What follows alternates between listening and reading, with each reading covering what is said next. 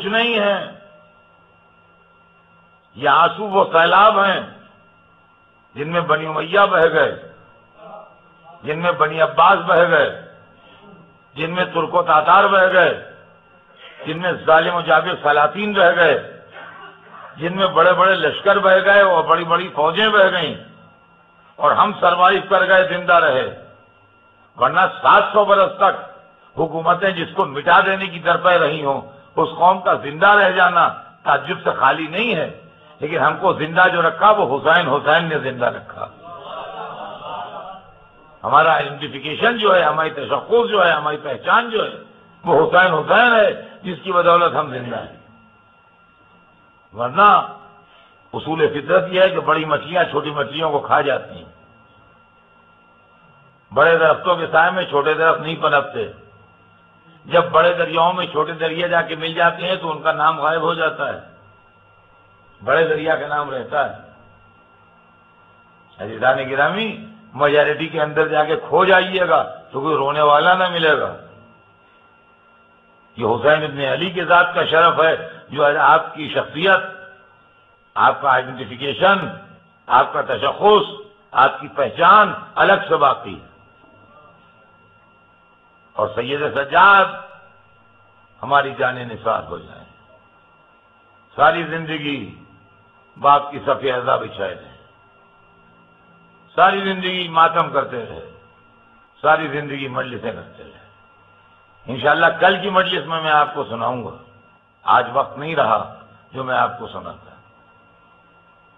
कल की मजलिस में आपको सुनाऊँगा कि सईद सज्जाद ने आंसुओं से कौन सी तबलीग की है? और दुआओं से कौन सी तबलीग की है? इसलिए कि उनकी ज़िंदगी में दो चीज़ें बहुत नुमाया मिलती हैं। एक, उनके आँसू, जो हमेशा जब तक ज़िंदा रहे, अपने बिदर बुजुर्गवार की सफेदा बिछा रहे और दूसरे, उनकी दुआएँ।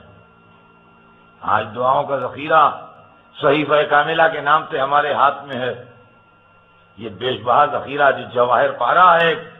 इसकी कीमत का अंदाज़ा नहीं है दुनिया को।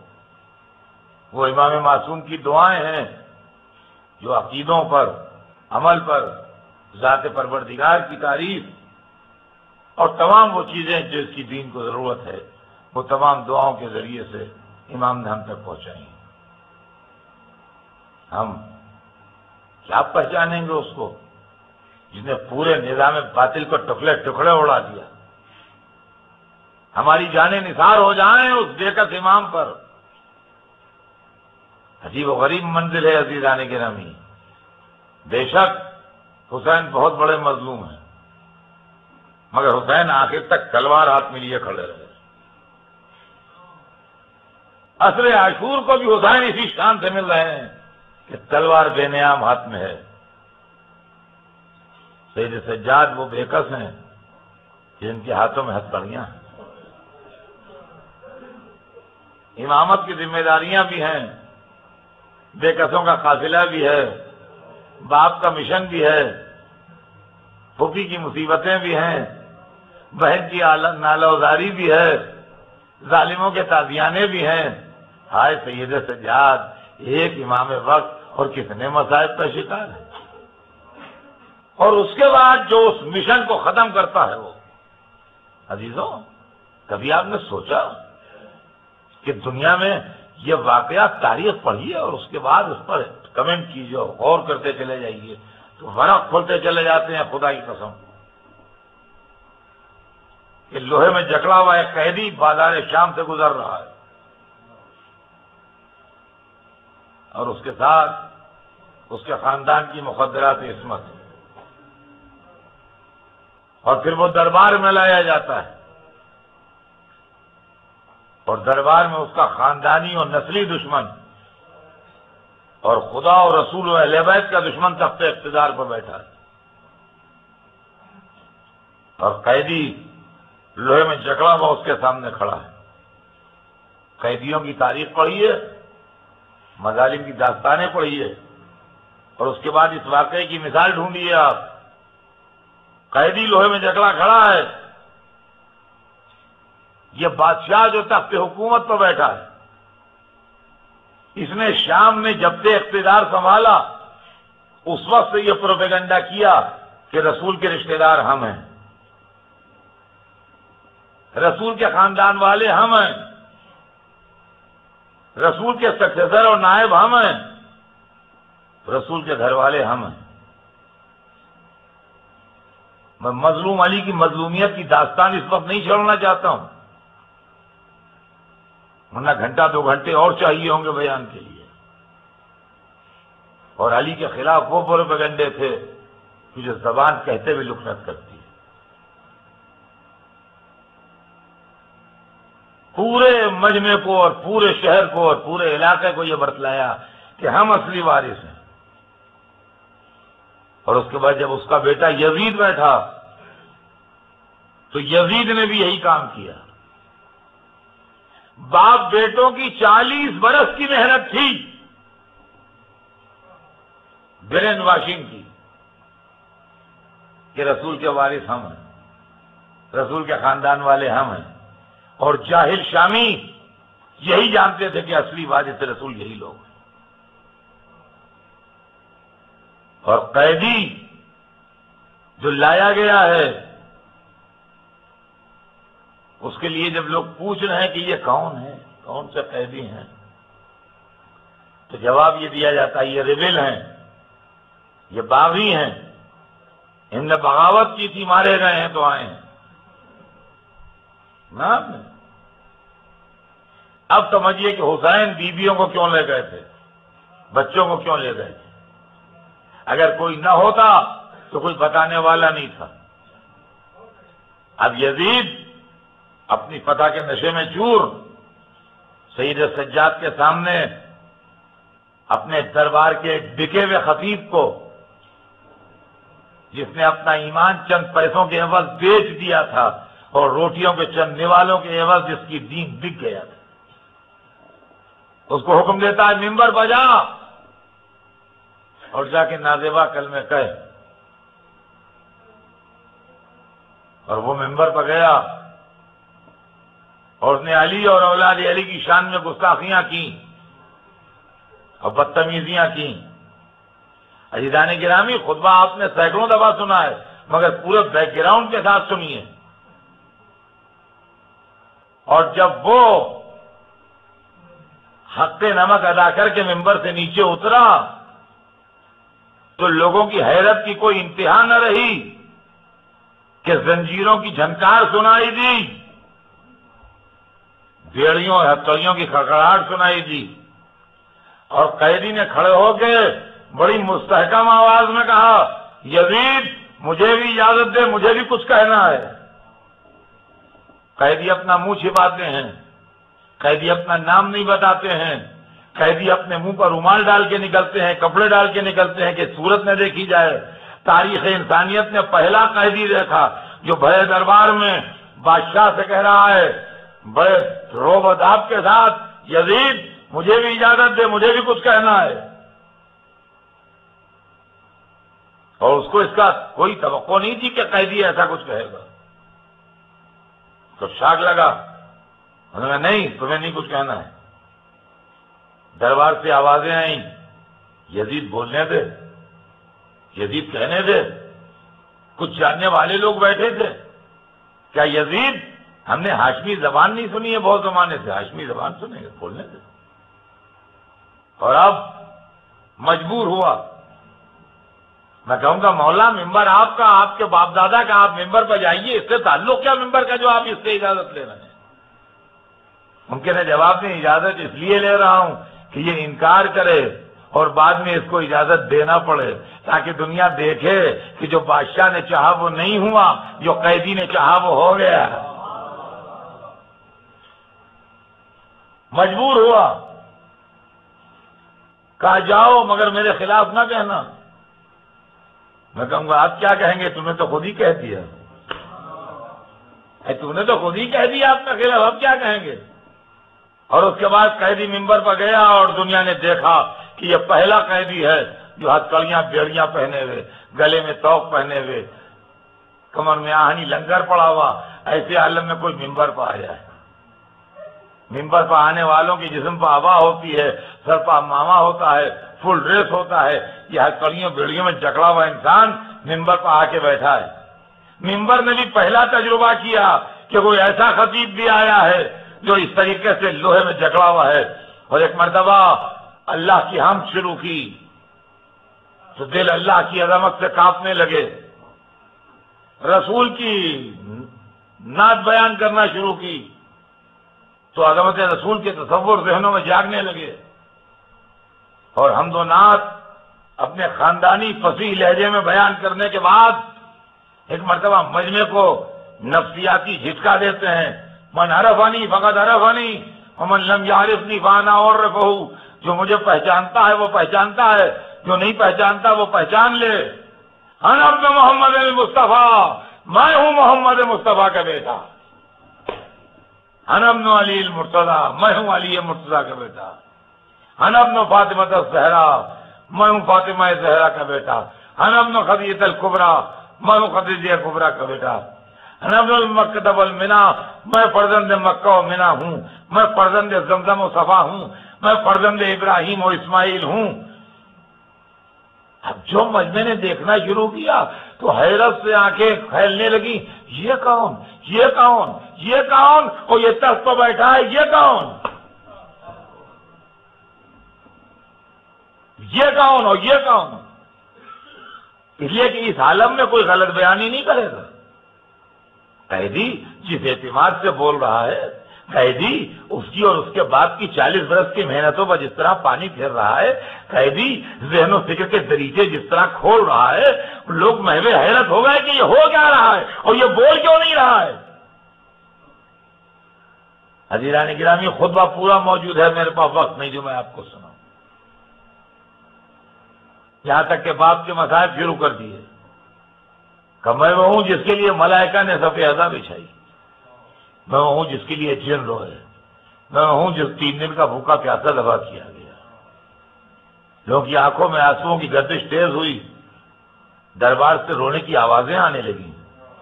यजीद ने सोचा, कैदी का जोरे तकरीर कहीं तख्त को उलट न दे। तो वही जो अभी कह रहा था, ना खबर आई, ना वही आई। उनने मोहसिन से कहा, आधा दे आधा दे आधा दे आधा दे। उन्होंने कहा, अल्लाह अकबर। और इमाम ने हक वालों को हमेशा तालीम दे दी कि देखो कभी नारे तकदीर से घबराना नहीं, वो तुम्हारा साथ नहीं देगी, हक का साथ देगी। इमाम ने कहा, मैं गवाही देता हूँ। चुप हो गए। काशद का मेरा रोया रोया गवाह उन्होंने कहा अशद मोहम्मद रसूलुल्लाह। मुड़े।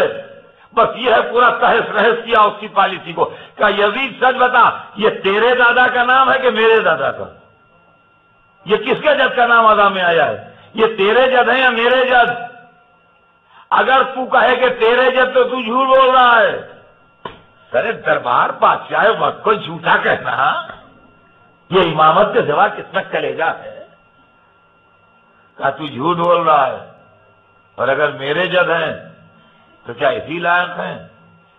कि उनका खानदान इस तरीके से लोहे में झगड़ा दरबार में रोने का शोर उठा। जदीद उठ के महल में चला गया। इमाम मेंबर से उतर आए। मैं कहूँगा, ए खतीब मेंबर शाम, गुलामों की जाने आप पर निसार हो जाए। आज ये गुलाम, ये कनीजें आपको अलविदा कहने बैठी हैं। अजीजा ने गिरामी रात आ रही है। ये चौथे इमाम की शब शहादत है। कल आप चौथे इमाम का इसी अदाखाने में ताबूत भी उठाएँगे। शब शहादत है। उसकी जिसके हाथ में मिहारे नाका थी सहरानिया बरहना सरसात थी, बहन नाके के ऊपर रो रही थी। साथ में कटे हुए काफ़ी सरों का काफिला था। हमारी जाने निसार हो जाए उस बेकस पर। जो ताजिया ने खाता हुआ, करबला से कूफे गया, कूफे से शाम गया।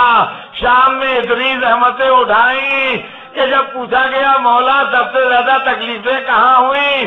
फरमाया शाम अशाम अशाम आज वो कूफे शाम का थका मुसाफिर दुनिया से जा रहा है।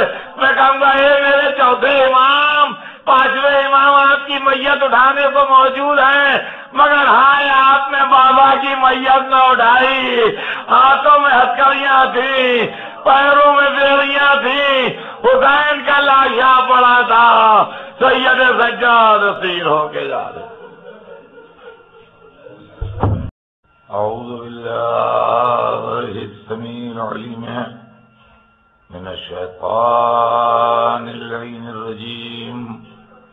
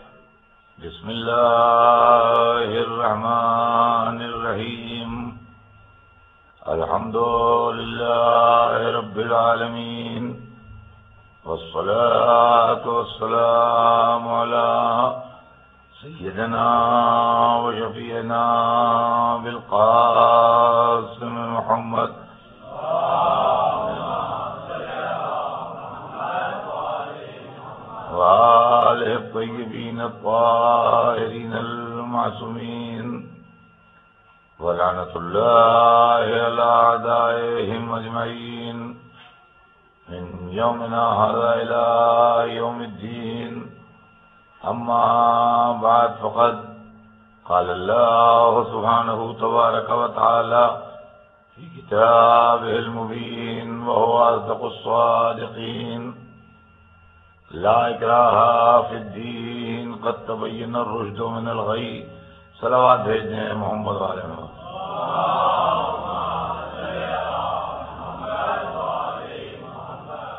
खुदाम आलम, कुरान मजीद में इर्शाद फरमा रहा है कि दीन के मामले में कोई जबर नहीं है, कोई ज़बरदस्ती नहीं है। तब तबैन रुशद मिनल गई हिदायत को गुमराही से अलग करके वाज करके बताया जा चुका है। मैंने आपकी खिदमत में अशर मुबारक में उसूल दिन के मुतालिक को दर्ज किया और हमारी गुफ्तु क़यामत के मौजू पर कल भी जारी थी, जब वक्त तमाम हो गया। क़यामत का दिन इंसाफ का दिन है, अदल का दिन है, फजल का दिन है। नेकुकारों को उनके अमल की जजा मिलने का दिन है। और जालिमों और कातिलों को, खाइनों को, हक व सिदाकत के दुश्मनों को सजा मिलने का और अपने अंजाम तक पहुँचने का दिन है। हम क्यामत के दिन के लिए तैयार रहें। कोशिश करें कि हमारे नेक अमाल का पल्ला भारी रहे। ताकि क्यामत के दिन हमें परेशानी न हो। वैसे आदमी के लिए बहुत छोटा सा आसरा भी बहुत होता है। हमारे पास तो बहुत बड़े बड़े आसरे हैं।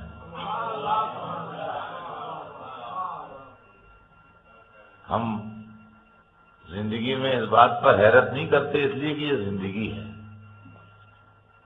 इस पर अगर हम कभी इसका तस्करा मजलिसों में करें तो इस पर किसी को न हैरान होना चाहिए, न इस पर एतराज़ करना चाहिए।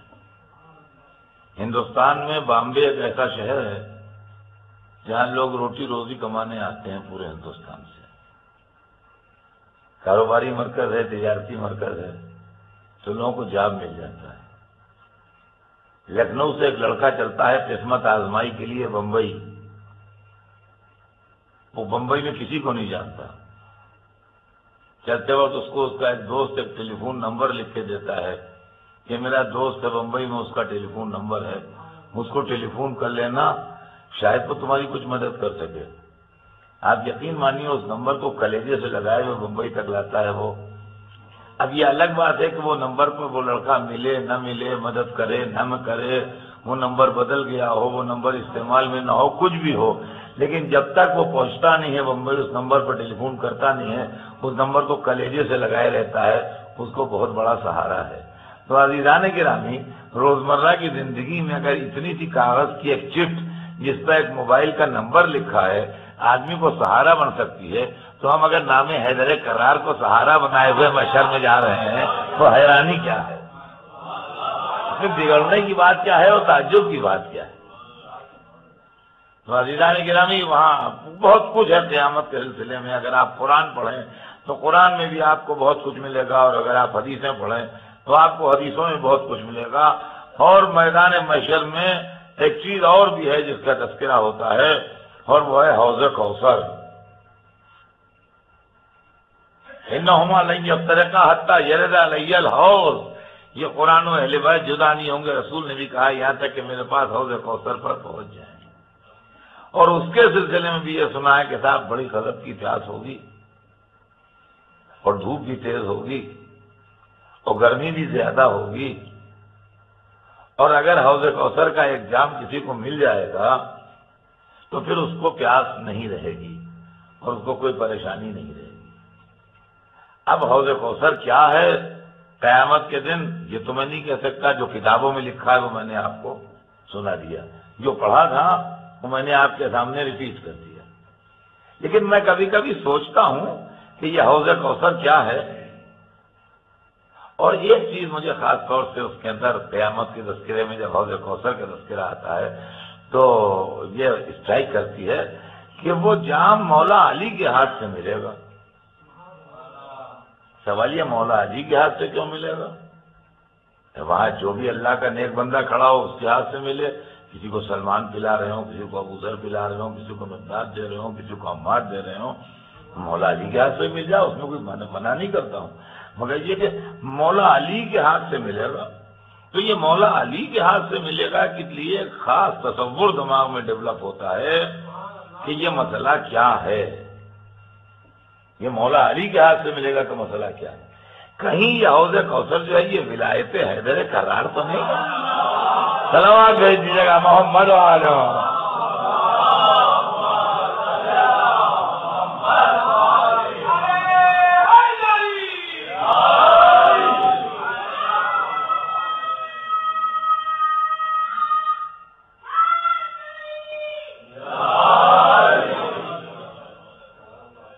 और ये प्यास जो है, ये गदब की प्यास होगी। नहीं, ऐसा तो नहीं है कि इस प्यास से मुराद हमारी जरूरियात हैं। हमारी नीड है कि हर एक गरीबान थामे हुए है। औलादें कह रही हैं, हमारा आप दिलाइए, इन्होंने हमको सही तरबियत नहीं दी है, इसलिए हम मुसीबतें फंसे हैं। माँ बाप कह रहे हैं, हमारा आप दिलाइए, इन्होंने हमारा हक नहीं अदा किया है। पड़ोसी कहते हैं, हमारा हक दिलाइए। नमाज़ अलग आई, हमको इसने कजा किया है, रोजा अलग खड़ा है। हमारा इसने एहतराम नहीं किया है। हर तरफ़ से हम नोचे जा रहे हैं, जैसे मतलब एक अकेला आदमी और चारों तरफ़ से हाथ बढ़े हुए कहीं ये तो नहीं है कि ये परेशानी जो है, ये प्यास है। और जो विलायत का जाम मिल जाए तो इतना मिल जाएगा कि हर एक का हक दे दिया जाए। और उसके बाद फिर कोई प्यास न रहे और कोई ज़रूरत न रहे और कोई नींद न रहे। बहरहाल जाम कौशल भी, हम उसके भी उम्मीदवार बैठे हैं कि इंशाल्लाह मिलेगा। और कहा तक अगर करूँ, बात को तमाम कर दूँ। सरवर कायनात के आखिरी जुमलों के साथ कि जहाँ पर मैदान मशर का अख्ताम हो रहा होगा और उम्मतें अपने अंजाम को पहुँच गई होंगी और कौमें अपने अंजाम को पहुँच गई होंगी और सालिमीन अपने अंजाम को पहुँच गए होंगे और मोमिन अपनी मंजिलों में पहुँच गए होंगे और उसमें जहन्नम को जाने वाले जो हैं उनकी भी डिस्मिशन कुरान में है और जन्नत के जाने वाले जो हैं उनकी भी डिस्मिशन कुरान में है। जहन्नम के जाने वालों के लिए लिखा है कि वो ला तरकनू इलदीना जरमू फतमसकुम नार।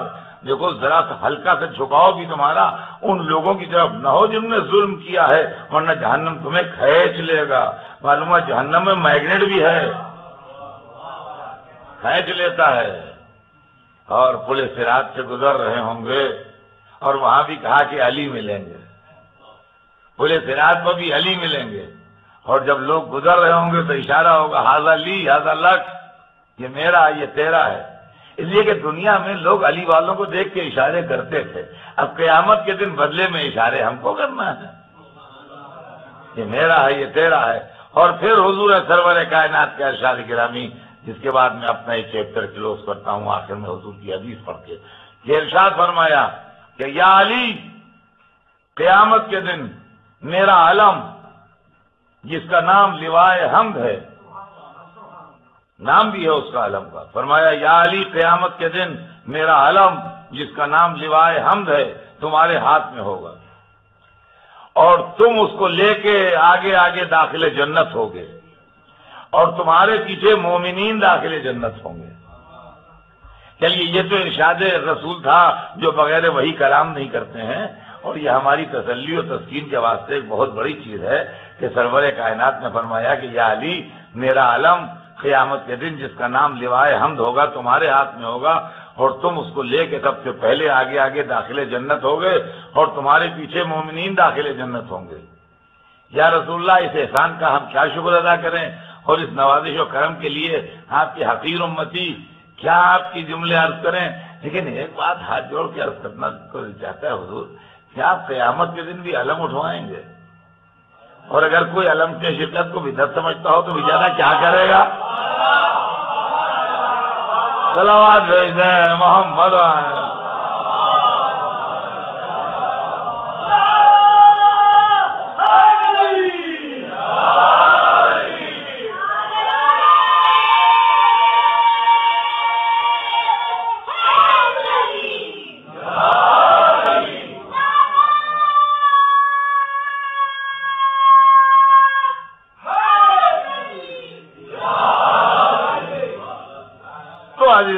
अजीजान इस दस, ग्यारह दिनों के खुलासे कलाम ये है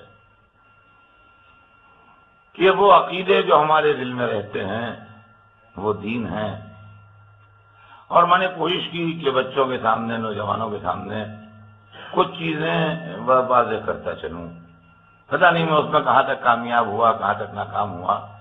लेकिन बहरहाल मैं आपका शुक्रगुजार हूँ कि आपने बहुत मोहब्बत का सलूक किया और बहुत मोहब्बत के साथ तशरीफ़ लाए। और बड़े मोहब्बत के साथ मजलिसों को समाज फरमाया। यही बात आज चलते चलते मैं आपकी खिदमत में दो तीन बातें अर्ज़ कर दूँ उसके बाद बयान तमाम कर दूँ। फिर ज़िंदगी रही तो इंशाल्लाह फिर कभी मुलाकात होगी। लेकिन ये कि दो तीन बातें काबिल हो हैं। एक तो कभी कभी हमारे बच्चों के दिल में बाल शुबे पैदा होते हैं। और वो शुबे हालात की वजह से पैदा होते हैं, लोगों की गुफ्तुओं की वजह से पैदा होते हैं। और उसमें से बाजे तो नहीं इजहार करते, उसका बाजे इजहार करते हैं। उनमें कुछ बड़े कामन सवाल हैं।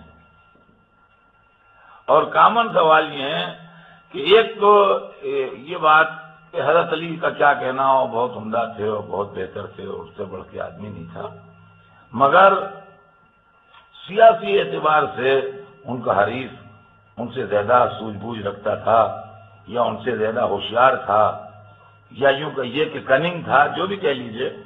और वो आ, मौला अली सीधे साधे आदमी थे तो वो नहीं मतलब उन साजिशों को समझ सके या उसका जवाब दे पाए। एक तो एक तो ये एतराज़ ही होता है। दूसरा एतराज़ ये होता है कि इमाम हसन ने इतनी बड़ी हुकूमत रखते हुए सुलह क्यों कर ली? ये भी एक एतराज़ होता है। सुलह क्यों कर ली तीसरा एतराज़ ये होता है कि इमाम हुसैन इतने कम मजमे के साथ और इतने मुख्तसर लोगों को लेके करबला क्यों गए? जबकि वो एक बड़ी फौज भी ले जा सकते थे। एक तरफ़ तो ये सवाल है। दूसरी तरफ़ बात चीज़ों के ऊपर हैरत होती है लोगों को। और बड़े ताज्जुब इजहार करते हैं। तो समझ नहीं आता। जब जनाब सैदा कुरान की आयतें पढ़ रही थी और आज तक किताबों में लिखी हुई हैं। तो फिर उनसे गवाह मांगने और उसकी क्या ज़रूरत थी? समझ में नहीं आता कैसे लोग थे जो गवाह मांग रहे थे। हाँ समझ में नहीं आता। अरे जब रसूलुल्लाह ने मौला अली के लिए कह दिया था कि मन कुन तो मौला बाला, अली और मौला, उसके बाद भी लोगों ने नहीं माना। समझ नहीं आता कैसे लोग? अरे इमाम हसन के लिए कहा? कि हसन हुसैन सरदार जवान है, जन्नत है, हसन मुझसे, मैं हसन से हूँ। और उसके बाद भी इमाम हसन के साथ गद्दारी की लोगों ने। और इमाम हुसैन भाई, रसूल के नवासे, सवारे दोषे रसूल रसूल ने जबान चुसाई हुसैन मिनी वाना मिनल हुसैन की हदीस। उसके बाद अकल में नहीं आता। ये सारी उलझने और सारी गुत्थियाँ आसानी से सुलझ में जाएँगी अगर थोड़ा सा आप लाइकराह के दीन पर स्टडी करें। अगर थोड़ा सा आप लाइकराह के दीन पर स्टडी करें तो ये सारी गुत्थियाँ जो हैं, ये खुद सुलझ जाएँगी। और क्यों कर सुलझ जाएँगी अजीरान गिरामी इसको मैं आपको इसका तरीका अर्ज़ करता हूँ। उसकी वजह यह है कि इस्लाम एक नहीं है, बल्कि दो इस्लाम है। एक पॉलिटिकल इस्लाम है और एक रिलीजियस इस्लाम है। गड़बड़ वहाँ से होती है जब हम पॉलिटिकल फिगर्स को रिलीजियस ऐनक लगा के देखते हैं। और जब हम रिलीजियस लोगों को पॉलिटिकल ऐनक लगा के देखते हैं। समझे? गड़बड़ वहाँ से होती है कि हम रिलीजियस लोगों के अमाल को पॉलिटिकल एंगल से देखते हैं। और पॉलिटिकल लोगों के अमाल को रिलीजियस एंगल से देखते हैं। देखिए, नमाज़ एक इस्लामी इबादत है। फुरुए दीन में सबसे अव्वल है। वाजिब है। हर हाल में वाजिब है, हर मुसलमान पर वाजिब है। लेकिन ये एक मजहबी चीज़ है। नमाज़ कोई पॉलिटिकल चीज़ नहीं। मगर नमाजें दो तरह की होती हैं। एक रिलीजियस नमाज़ है, एक पॉलिटिकल नमाज़ है। भैया साहब पॉलिटिकल नमाज़ कैसे होती है? आइए मैं आपको दिखाऊँ पॉलिटिकल नमाज़ कैसे होती है। मैं आपको पढ़ के दिखाऊँगा पॉलिटिकल नमाज़ कैसे होती है। पॉलिटिकल नमाज़ कैसे होती है, मैं आपको पढ़ के दिखाऊँगा। देखिए रिलीजियस नमाज़ जो है उसके अंदर टाइम मुकर है। ये सुबह का है, ये जोहर, या फिर ये मकरीब ईशा फिर कायदे कानून है। आपका जिसम पाक होना चाहिए, आपका लिबास पाक होना चाहिए, आप बावजू होना चाहिए, नियत होना चाहिए। बड़े बड़े कंडीशन थे वो शराय है वो सारे मसाइल जो हैं, वो अलहमदुल्ला आपको मालूम है और आप जानते हैं। इसलिए कि माशा सब नमाजी। ये तो रिलीजियस नमाज़ है। जिसके अंदर ये नियत होती है कि नमाज़ पढ़ता हूँ, तीन रकत मगरब अल्लाह ये अल्लाह की रजामंदी के लिए नमाज़ है, ये मजहबी नमाज़ है। अब मान लीजिए हिंदुस्तान में जनरल इलेक्शन वरीज है। और मुझे मुस्लिम वोट को कंट्रोल करना है। मुझे मुस्लिम वोट को कंट्रोल करना है कि मेरी आवाज़ का मुस्लिम वोट जो है, वो इधर उधर हो। लिहाजा मुझे एक नमाजी की हैसियत से मुसलमानों के सामने आना है ताकि मुसलमान मुझे बड़ा मजहबी और रिलीजस समझें। मैं एक क्लब में बैठा हुआ, खा पी रहा था। और क्या खा रहा था, क्या पी रहा था ना काबिल ज़िक्र है। समझने वाले समझ जाते हैं। और सर से पैर तक नजिस था। मुँह भी नजिस था, कपड़े भी नजिस थे, जिसम भी नजिस था, न वज़ू था, न तयम था, न वज़ू था, कुछ भी नहीं। बिल्कुल बिल्कुल ही गंदा।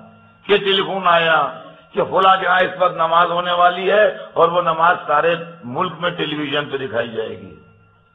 बड़ा इंपॉर्टेंट प्रोग्राम है, आप जल्दी पहुंचिए। और कोशिश करके पहली सब में आइए। अब मैं वहाँ से आंधी की तरह चला। और एक साहब मेरे साथ भी थे। उनको हैरत किए कहा जा रहे हैं? आंधी की तरह चला और जब मैं पहुँचा तो बस सफे बनी रही थी और पेशमाम मुसल्ले आ चुके थे। घुस फिल के मैं जल्दी से सफे अव्वल में आ गया टीवी के कैमरे के सामने। और उधर उन्होंने अल्लाह अकबर कहा, मैंने अल्लाह अकबर।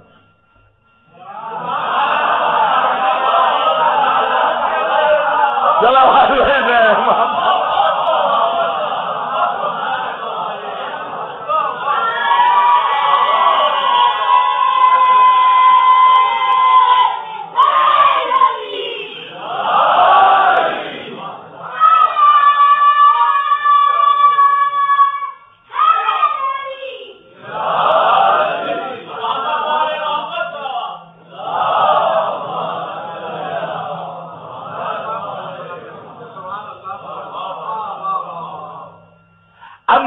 साथी को हैरत हो रही है। हमारे कैसे आदमी? है? हमने वज़ू किया। है? ने तयम किया। हमारे कहाँ बैठा हुआ था? अभी तो हम साथ थे वहाँ। ये क्या चीज़ खा रहा था? ये क्या चीज़ पी रहा था? ये सर से पैर तक नजिस है बिल्कुल। इसका मुँह भी नजिस है इसके जिस्म भी नजीस है इसके कपड़े भी नजीस है, है? नमाज़ अरे आप खा परेशानी में है ये ऐसा ये ऐसा ये ये नमाज़ अल्लाह के लिए हो ही नहीं रही है। वो आप उस नमाज़ की बात कर रहे हैं जो कुर्बतन अल्लाह होती है ना। ये कुर्बतन इलेक्शन है। इसमें ये कोई शर्त नहीं है। और मयाम ने तो अजीदान गिरामी, इस्लाम में गड़बड़ ये है कि हम पॉलिटिकल फिगर्स को रिलीजियस एंगल से देखते हैं और रिलीजियस लीडर्स ऐसे लोगों को पॉलिटिकल एंगल से देखते हैं। हम मिसाल सुनिए तो कहते अली हर तरह बेहतर थे, क्या कहना अली का जवाब ही नहीं। दुनिया में मगर अगर आप पोलिटिकली सिलो थे। अली पोलिटिकली सिलो नहीं थे। अली मजहबी थे। दीन को पहचानते थे। मिसाल सुन लीजिए बच्चों बच्चों की समझ में आ जाएगी बात। किताब मैं यहाँ आने जाने लगा, ऑस्ट्रेलिया तो लोगों से जान पहचान हो गई, मुलाकात हो गई। एक दफ़ा मैं रमज़ान मुबारक में आ गया। और अपने किसी पर्सनल काम से आया मजलिस मजलिस पढ़ने। नहीं आया जाती काम से आया किसी लेकिन यहाँ मोमिन को मालूम कि साहब अतर साहब आए हैं और ठहरे हुए हैं। तुम कह रहे अतर साहब आए तुमको इफ्तार में बुलाओ। अब हमारे एक दोस्त ने हमारी दावत की कहा अतर साहब आप तशरीफ़ लाइएगा और जो लोग आपके साथ हों उनको भी लाइएगा। मैंने कहा हाँ, दो तीन आदमी हैं। मैंने कहा उनको भी लाइए और आप इफ्तार हमारे क्या कीजिएगा? अब हम रोज रहे थे आपने हमसे इफ्तार का वादा ले लिया। अब भारतीय जो जमाना ऐसा था कि आठ बजे रात को इफ्तार का वक्त होता था। रमज़ान में आठ बजे वक्त इफ्तार आता था, फ़र्ज़ कर लीजिए तो मैं आपके यहाँ सात बजे शाम को आ गया कि थोड़ी देर बैठेंगे, बातें आते होंगी, उसके बाद इफ्तार होगा। और आपने जिस रूम में मैं बैठा था, उसके अलावा दूसरे रूम में एक बहुत बड़ा सा रूम था, उसके अंदर टेबल पर बेहतर से बेहतर इफ्तारी जो यहाँ मुमकिन हो सकती थी, वो मंगा के सब लगा दी। क्या था, साहब को इफ्तार के लिए बुलाया है दो तीन आदमी उनके साथ भी आए हैं। लिहाजा आपने आला दर्जे की कीमती, महँगी और बेहतरीन किस्म की इफ्तारी जो थी, वो सब लेके टेबल के ऊपर लगा दी। आठ बजे इफ्तार का वक्त आता था। साढ़े सात बजे एक ग्रुप आया, जिसका कोई ताल्लुक रोज़े से था ही नहीं, वो इफ्तारी खाने आया था। और सीधा उस रूम में दाखिल हो गया जहाँ इफ्तारी चुनी थी। और शुरू हो गया। लड़के दौड़ के मेरे पास आए। अच्छा साहब, वहाँ इफ्तार शुरू हो गया है, जल्दी चलिए। मैंने घड़ी देखी मैंने कहा अभी कहा, अभी तो साठ साढ़े सात बजे आठ बजे इफ्तार का वक्त आता है। गाँव वहाँ शुरू हो गया है। वो आधे घंटे में सब खा पी के वो चलते बने। अब जब साढ़े आठ आठ बजे मैंने इतमान किया, घड़ी देखी, यकीन हो गया कि नमाज़ रोज़े के इफ्तार का वक्त आ गया है, तब मैं वहाँ पहुँचा। अब वहाँ पहुँचा, थोड़े से उबले हुए चने पड़े हुए थे। दो चार सूखी सूखी खजूरें पड़ी थी, और इसके अलावा कुछ था ही नहीं, वहाँ सब प्लेटें खाली थी। नदिया यह हुआ कि बिस्मिल्लाह तुम तो कह के दो चार चने खा लिए। दो चार खजूरें जो वो सफ़ा तो खराब समझ के छोड़ गए थे, उन्हीं में से एक आध खा ली। एक दो घूट पानी पी लिया चलिए इफ्तार हो गया। हम लोगों ने कहा साहब बड़ा उमदा इंतज़ाम था और जिस वक्त हमने कहा है, अगर उस वक्त आप आ जाते तो फिर लड़कों की हिम्मत नहीं पड़ती कि आगे बढ़ जाते। फिर लड़कों की हिम्मत नहीं पड़ती कि आगे बढ़ जाते। जिस वक्त हमने कहा था, उस वक्त अगर आप आ जाते तो पहली प्लेट आप ही के लिए होती। मगर लड़के ज़्यादा तेज थे, आप जरा सिलो रह गए हाँ ठीक है मछली साहब बहुत उमदा पढ़ते हैं, बहुत नेक आदमी है, मगर इस मामले में लड़के ज़्यादा होशियार निकले। वो पहले सब खा गए और आप रह गए। अगर आप पहले आ जाते तो आपको सब मिल जाता। अब मैं कैसे आपसे कहूँ कि मैं आपकी जरा सी इफ्तारी के लिए कि अपना रोजा तोड़ देता?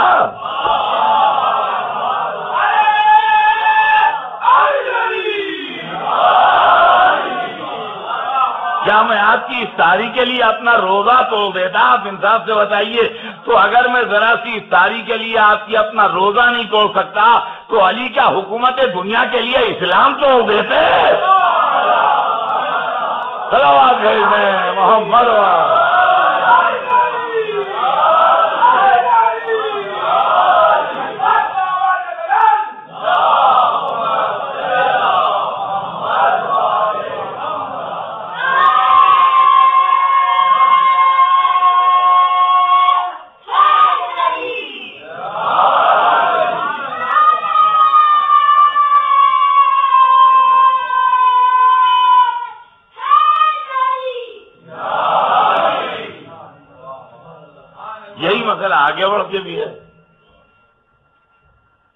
इमाम हसन के पास फौज थी। इमाम हसन क्यों नहीं लड़े? क्या हुआ उनके मुल्क में? तो अजीरानी गिरामी, बेशक, उधर से रिश्वतें आ रही थी। उधर से लोग खरीदे जा रहे थे। उधर से लालचें दी जा रही थी। इमाम हसन पास बड़ी हुकूमत थी, ठीक है। वो अगर दस हज़ार दिनार देता था, इमाम हसन पचास हज़ार दे सकते थे। मगर पचास दिनार कौन से होते? वो माले खुदा के होते। जिससे आदमी खरीदे जा रहे होते। तो अब इमाम हसन के सामने दो रास्ते थे। या रिश्वत दें हुकूमत बचाएँ, या सुलह करें और इमामत बचाएँ। तो आपकी निगाहों में हो सकता है हुकूमत ज़्यादा कीमती हो। इमाम हसन की नज़र में इमामत ज़्यादा कीमती थी। हमने हुकूमत पर ठोकर मारी, इमामत बचाई। तो इमाम हसन ने सुलो क्यों कर ली? सुलो इसलिए कर ली कि बंदे जो थे वो बिक रहे थे। तो इमाम हसन को खबर नहीं थी कि बिक रहे हैं। खूब खबर थी कि बिक रहे हैं। लेकिन वो माल बिकाऊ था। वो ऐसे हसन के पास ना आता। हसन खरीदते तो आता। वहाँ से दस हज़ार आ रहे हैं, आप पंद्रह हज़ार दीजिए, आप क्या आ जाते वहाँ से एक लाख मिल रहा है, आप दो लाख दीजिए, आपके आगे हाथ जोड़ हर वक्त खड़े रहेंगे। लेकिन ये दो लाख दीजिए कहाँ से? गरीबों का हक काटिए बेवाओं का हिस्सा लीजिए कमजोरों का माल लीजिए उसके बाद दिए ताकतवरों को हाँ, और फरमा रहे हैं आप ये चीज़ समझ में आ रही है। तो ये लायक रहा फिर दीन दीन में जबर नहीं है। ज़बरदस्ती ताकत दिखा के और कुत दिखा के और फौजें लड़ा के अब तीसरा सवाल आता है तो हुसैन बहत्तर को लेकर क्यों आ गए? तो हुसैन के पास लाख, दो लाख का लश्कर जमा हो जाना कोई बड़ी बात नहीं। थी जबकि हुसैन के कमतर दर्जे के लोगों को यजीद से बेहतर लोगों के मुकाबले में लश्कर मिल गए। अरे, जब लोगों को अली के मुकाबले में लश्कर मिल गए तो क्या हुसैन को यजीद के मुकाबले में लश्कर ना मिलता? ज़बरदस्त लश्कर मिलता। तो मौला ने क्यों ना लिया लश्कर? मौला ने क्यों ना लिया लश्कर? ने गिरामी मौला ने लश्कर क्यों ना लिया का जवाब? फिर वो ये लायक रहा फिर दीन। हुसैन हुकूमत के लिए नहीं लड़ रहे थे, दीन के लिए लड़ रहे थे। आ जाता लश्कर? बहुत आसान था, कोई मुश्किल नहीं था। और साथ में ये बहत्तर भी होते, जो थे, ये कहा जाती है? तो सही साथ। फिर जब लश्कर लेके आते तो इजाज़त मैदान भी मिलती सबको। फिर ये भी सवाल नहीं था, किसी को इजाज़त मैदान ना मिले, किसी को लड़ने की इजाज़त ना मिले। तो जब लड़ाई होती तो अंजाम क्या होता? कहता अंजाम बिल्कुल सामने लश्कर यजीद को शिकस्त होती। और मैदान जंग में उनके सरदार मारे जाते। यजीद को तब से हुकूमत छोड़ना पड़ता। और इमाम हुसैन का इख्तदार होता। यहाँ पर आप आन की सिलसिला रोक देते हैं। फिर समझ में नहीं आता ऐसा क्यों नहीं किया? हम इसकी आगे बात बढ़ाते हैं। हम कहते हैं, जब इमाम हुसैन का इकतदार मुसलम हो जाता और उनके हाथ पर आमतौर से बैत हो जाती और सारे मुल्क पर उनकी हुकूमत हो जाती तो बड़े बड़े सरदार बड़े बड़े कबीले वाले बड़े बड़े जथे वाले जिन्होंने इमाम हुसैन का साथ दिया था यजीद के मुकाबले में, वो आते, कहते, मौला, हमारे कबीले के दस हज़ार आदमी थे आपके साथ। हमारे कबीले के पाँच हज़ार आदमी थे आपके साथ। हमारे इलाके के सौ आदमी मारे गए इस लड़ाई में, जो आप लड़े हैं। हमारी तरफ़ के, हमारे कभी खानदान के डेढ़ सौ आदमी मारे गए इस कबीले के, जो आपने लड़ाई लड़ी है। मौला हमारे कबीले वाले कहते हैं कि जाओ मौला के पास। क्यों नहीं कहते तुम गवर्नरी के लिए कहो, तुम्हें मिलेगी। तुमने भी तो मुसीबत में साथ दिया है। देखिए, इंसान बदलता नहीं है। सब बहत्तर नहीं है।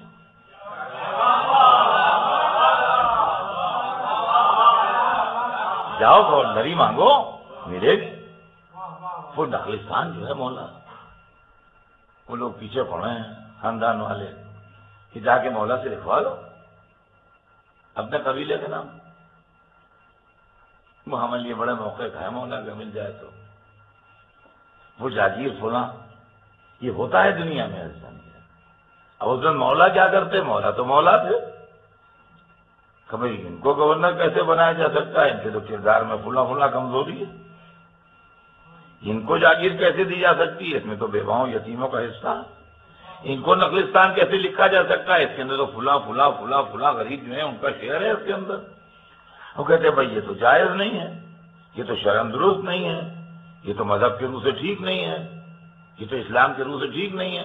कहते वाह मौला, जब मुसीबत पड़ी थी, जब यजीद बैत मांग रहा था, जब अकेले थे, जब हमारी मदद लेना इस्लाम के रूह से सही थी, अब जब जागीर देने का मौका आया तो इस्लाम के रूह से गलत है। नतीजा क्या होता कि वही जिन्होंने साथ दिया है, वही मुखालिफत करते। और जब वही मुखालिफत करते, अपने लोग जिन्होंने पहले साथ दिया था और हुसैन उनसे लड़के शहीद होते तो इस्लाम को वो फ़ायदा न पहुँचता जो आज पहुँच गया। आप समझिए इस मसले को, गौर कीजिए फिर वो फ़ायदा न पहुँचता। वो कहते उनके लोग उनसे बागी हो गए, हम क्या करें? जिन लोगों ने उनके साथ तलवार चलाई थी, वही लोग उनकी तरीके अमल से मुखालिफ हो गए उनके। किसी पर क्या इल्ज़ाम है? और अजीजान गिरामी सुबह क्यामत तक जो इस्लाम को ज़िंदा करने का सहारा बन गया वाकई करबला, ये ना बनता। आज हुसैन की इस कुर्बानी ने एक ऐसा ज़रिया दे दिया है इस्लाम को जो ज़िंदा है। और अजीजान गिरामी चलते चलते मैं अपने नौजवानों, अपने बच्चों को एक नसीहत करके जा रहा हूँ कि हमारे खजाने में जो मजहबी खजाना है, हमारे अकायद और हमाल का जो खजाना है, ऐसे ऐसे नायाब जवाहरात हैं कि दुनिया में जिसका कोई जवाब ही नहीं है और दुनिया में जिसकी कोई मिसाल ही नहीं है।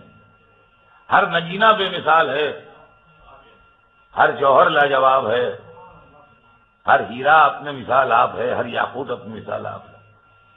मगर हर बादशाह के खजाने में, हर राजा और नवाब के पास जो एंटीक्स होते हैं, उसके अंदर दो तीन चीज़ें बड़ी नायाब होती हैं, जो उस खजाने की आबरू होती हैं। वैसे तो हर चीज़ कीमती होती है, हर चीज़ उमदा होती है, मगर दो तीन चीज़ें ऐसी ज़बरदस्त होती हैं, जो उस खजाने की आबरू होती हैं। जैसे ब्रिटेन के पास जवाहरात तो बहुत हैं, लेकिन कोहनूर जो है, वो उनके खजाने की आबरू बना हुआ है। जबकि उनके पास सैकड़ों हीरे हैं, और एक से एक हीरे हैं, कीमती हीरे हैं। लेकिन वो लाजवाब हीरा है। या इसी तरह से कोई भी रईस हो नवाब हो उनके खजाने जो होते हैं, उनमें कोई ना कोई सामान ऐसे होते हैं कि जो उस खजाने की आबरू होते हैं। तो अजीजान गिरामी आपका जो मजहबी खजाना है उसके अंदर तीन चीज़ें इतनी लाजवाब हैं कि इनको कभी न छोड़िएगा चाहे जान चली जाए, मगर इनको कभी न छोड़िएगा। इसलिए कि ये आपके पूरे मामले की आबरू है। एक गदीर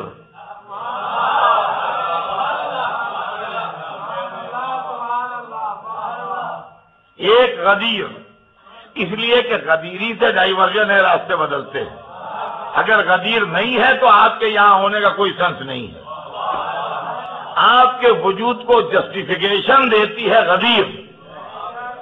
लिहाजा एक तो ज़िंदगी में कभी गदीर न छोड़िएगा।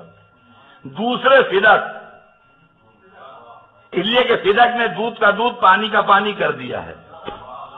इसलिए के वहाँ सामने कोई और नहीं खड़ा है, खुद रसूलुल्लाह की बेटी खड़ी है। दूसरी चीज़ फिदक है। जो हक के लिए और रहनुमाई के लिए और सच्चाई बताने के लिए उससे बढ़ के दूसरी मिसाल नहीं है।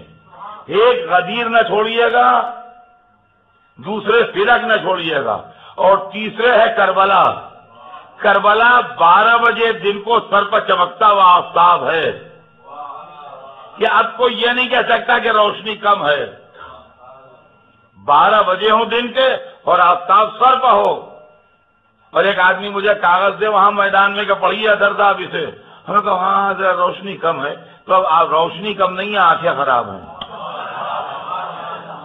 समझे? आप रोशनी कम नहीं है अब आँखें खराब हैं। तो अजीजा ने गिरामी ये करबला जो है, ये बारह बजे दिन का चमकता हुआ आफ्ताब है। अब इसके बाद भी इसकी समझ में हक ना आए कि क्यामत तक कोई ताकत उसको हक समझा नहीं सकती।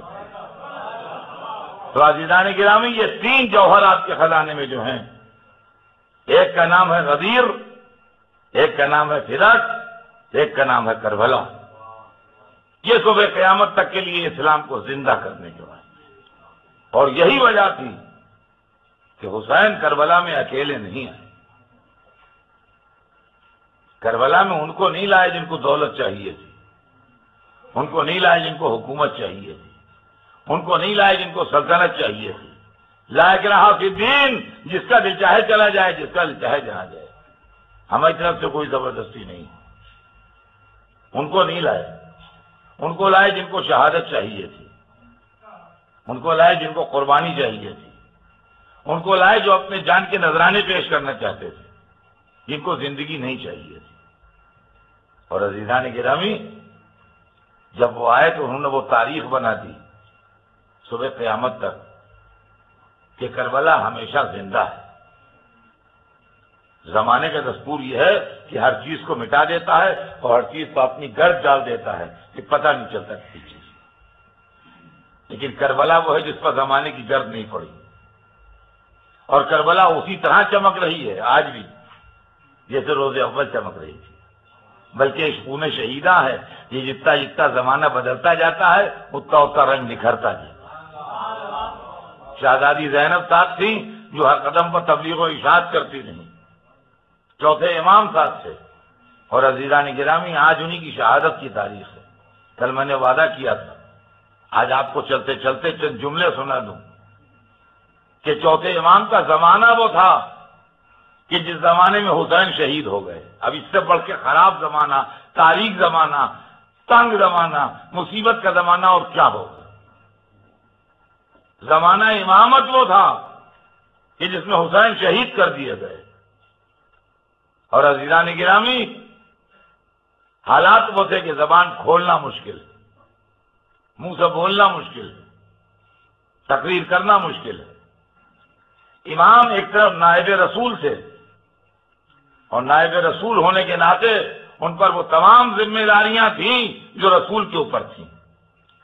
और रसूल पर जो जिम्मेदारियाँ थी उनमें आप जानते हैं क्या थी? वो जिम्मेदारियाँ कुरान में मेंशन है। यतलू अलहम आयात ही वह युजक्कीहिम व युल्लमुहुल किताब वल हिकमा।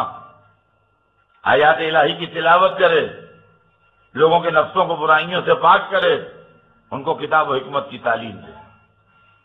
ज़िम्मेदारी चौथे इमाम पर यह है, और हालात में है कि किसी से बात करें तो उसको जान का खतरा है। लिहाजा चौथे इमाम ने अपनी दुआओं के ज़रिए तबलीग की। ये जो आप सुना करते हैं कि वो दुआएँ पढ़ा करते थे। इसलिए कि अगर आदमी तकरीर कर रहा है तो उस पर पाबंदी लगाई जा सकती है। अगर आदमी मजमा जमा की है तो उसको वह हुकूमत की नज़र पड़ सकती है। अगर आदमी जलसा बुला रहा है तो उसको रोका जा सकता है। लेकिन एक आदमी मस्जिद के गोशे में बैठा हुआ अपने अल्लाह से मुनाजात कर रहा है न किसी को बुला रहा है, न किसी से बात कर रहा है। बंदे और खुदा के दरमियान बात हो रही है। इसके ऊपर कौन सा कानून लागू होता है, कौन सी चीज़ इसको रोक सकती है? लेकिन उसकी गुफ्तगु में वो मिठास है, उसकी जबान में वो हलावत है, उसके बात करने के अंदाज में वो कशिश है, उसके जुमलों में इस कदर ज़्यादा हुस्न है कि जो सुनता है उसका गिरवीदा हो जाता है। जो सुनता है उसका गिरवीदा हो जाता है। और वो जुमले, और वो लफ्जें, और वो दुआएँ लोग जबानी याद करते हैं। और जबान बयान के मुजिजे के तौर पर एक दूसरे को सुनाते हैं। तो सुना तो रहे हैं मुजिजाए जबान बयान के तौर पर, मगर उसके अंदर अखलाक सुधर रहा है, ईमान सुधर रहा है, किरदार सुधर रहा है, अकायद सुधर रहे हैं, रसूल के मिशन की तकमील हो रही यह चौथे इमाम की ज़िंदगी थी जो दुआ करते थे। दूसरा मरहला जो उनके पास था और दूसरी ज़िम्मेदारी जो उनके पास थी, वो ये थी कि वो नायब हुसैन भी थे। और नायब हुसैन होने की नाते वो रिवोल्यूशन जो हुसैन के शहादत ने पैदा किया था और वो इनकलाब जो शहादत हुसैन ने जहनों में बर्पा कर दिया था, उसकी क्यादत भी चौथे इमाम कर रहे थे। हजीरा ने गिरामी शहादत हुसैन से पहले और शहादत हुसैन के बाद कितना बड़ा चेंज आया है? इसको कभी ठंडे दिल से सोचिए आप। इमाम हुसैन के साथ बहत्तर आदमी थे। कह लीजिए कि दो चार हज़ार कैद में होंगे। कह लीजिए कि दो चार हज़ार को खबर न होगी। लेकिन पूरे मुल्क में हुसैनी नज़रिए के लोग और हुसैन के साथी दस बारह हज़ार से ज़्यादा नहीं होंगे वरना अगर ज़्यादा होते तो शहादत हुसैन पर प्रोटेस्ट होते, एहतजाज होते, हंगामे होते, जो नहीं हुए। लेकिन हुसैन के शहादत ने जहनों में जो रिवोल्यूशन पैदा किया है, और जो इनकलाब आया है, इंसानी फ़िक्र में शहादत हुसैन से उसके बाद जब हम थोड़े दिनों के बाद देखते हैं, यानी अब्दुल मलिक इब्ने मरवान के पीरियड में, हुसैन की शहादत के चंद बरस के बाद हजाज इब्ने यूसुफ सकफी का जमाना जब आता है तो तारीख लिखती है, अस्सी अस्सी हज़ार शिया अली के अली के चाहने वाले जेल में थे। तो सवाल यह है कि बीस बरस पहले तो बहत्तर निकले, और बीस बरस के बाद अस्सी हज़ार हो गए। नेचुरल ग्रोथ तो आबादी की इतनी नहीं है। ये अस्सी अस्सी हज़ार आए कहाँ से? और अगर अस्सी अस्सी हज़ार जेल में थे तो दस, बीस हज़ार तो आज़ाद भी होंगे। अगर अस्सी हज़ार जेल में थे तो उनके बच्चे और औरतें मिला के एक लाख भी तो होते होंगे। तो ये इतने कहाँ से हो गए? आप जानते हैं कहाँ से हो गए? कि शहादत हुसैन ने इनकलाब पैदा किया जो इतने लोग पैदा हो गए। और इस इनकलाब की पुष्टपनाही जो थी, वो सैयद सज्जाद के हाथ में थी। इस रेवोल्यूशन को आगे बढ़ाने का काम जो था, वो सैयद सज्जाद के हाथ में था। और आप जानते हैं ये रेवोल्यूशन कैसे आगे बढ़ा? ये रेवोल्यूशन ये इनकलाब आंसुओं के ज़रिए आगे बढ़ा। यह मजलिस में बहने वाले आँसू हैं। इसलिए कि उन्होंने सिर्फ़ अशकों के ज़रिए, सिर्फ़ आंसुओं के ज़रिए बनी मैया की सल्तनत की बुनियादें खोखली कर दी। एक आदमी बैठा, अपने बाप को अपने घर में रो रहा है। कानून को क्या इतिहास कोई आदमी उसका क्या बिगाड़ सकता है? वो बाहर नहीं निकलता। वो किसी से इनकलाब बर्पा करने को नहीं कहता। वो किसी से मुसल्ला तसादुम की बात नहीं करता। वो किसी से नहीं कहता कि तुम उलट दो तबका हुकूमत का?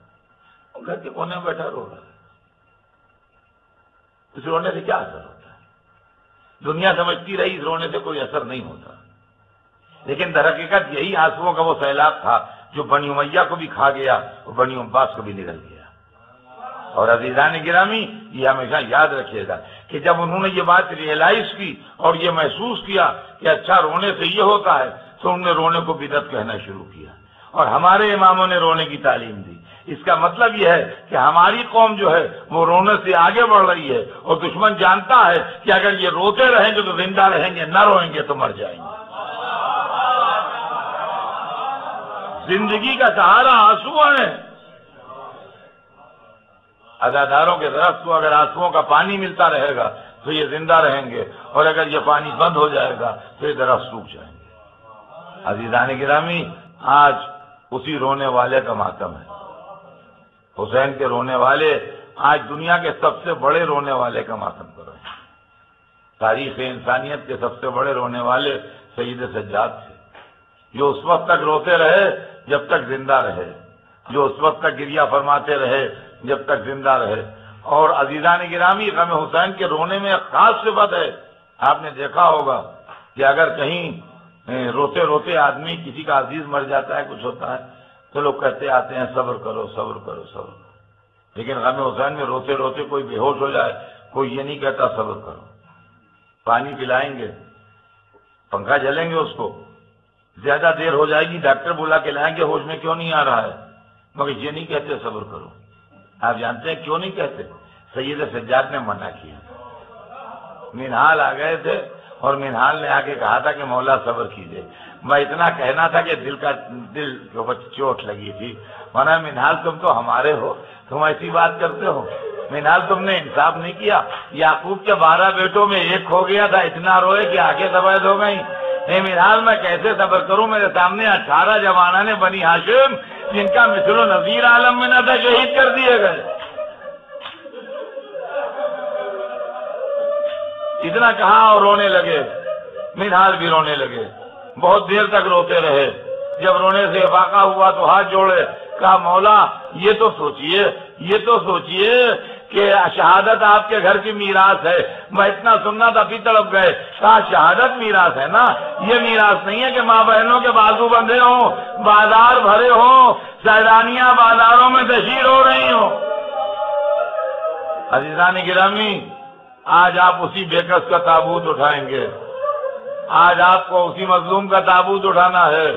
तारीख बताती है कि जब शहर दगा दिया गया और दुनिया से रुख्सत होने लगे तो पाँचवें इमाम को बुला के वसीयतें फरमाई थी। वसीयतों में एक वसीयत सिर्फ़ आपको सुनाऊँगा। वसीयतें फरमाई थी, उन वसीयतों में एक वसीयत ये भी थी कि बेटा, ये मेरा नाका जो है सवारी का इसका ख्याल रखना मेरे बाद। इसलिए कि मैंने इस पर पच्चीस मरतबा हज किया पच्चीस मरतबा मैं इस पर सवार होकर हज को गया हूँ। है, लिहाजा इसका ख्याल रखना। और इतना फरमाने के बाद एक जुमला इर्शाद फरमाया, कहा, बेटा, मैंने इस पर पच्चीस हज तो किए, मगर कभी इसको ताजियाना नहीं मारा है। अरे मैं कहूँगा, मौला सवारी के नाके को ताजियाना नहीं मारा। अरे जरा चलिए रहा शाम में, एक मुसाफिर है जिसके पुष्प ताजियाने पड़ रहे हैं। आज हमारा चौथा इमाम दुनिया से सिरारा, पाँचवें इमाम ने गुसल दिया, कफन दिया, ताबूत को लेके जन्नतुल बकी में आए। इमाम हसन सलाम के पहलू में उनके भतीजे को दफन कर दिया। मैं कहूँगा, एक शाम के थके मुसाफिर आज तो आराम कर गए। मगर मेरे आका आपके बाप का लाशा तीन दिन के गोड़ कफन पड़ा रहा। हाय मेरा तीसरा इमाम, जिसका ताबूत न उठा, इमाम का ताबूत आ रहा है। वाह मोहम्मदा वालिया वाह।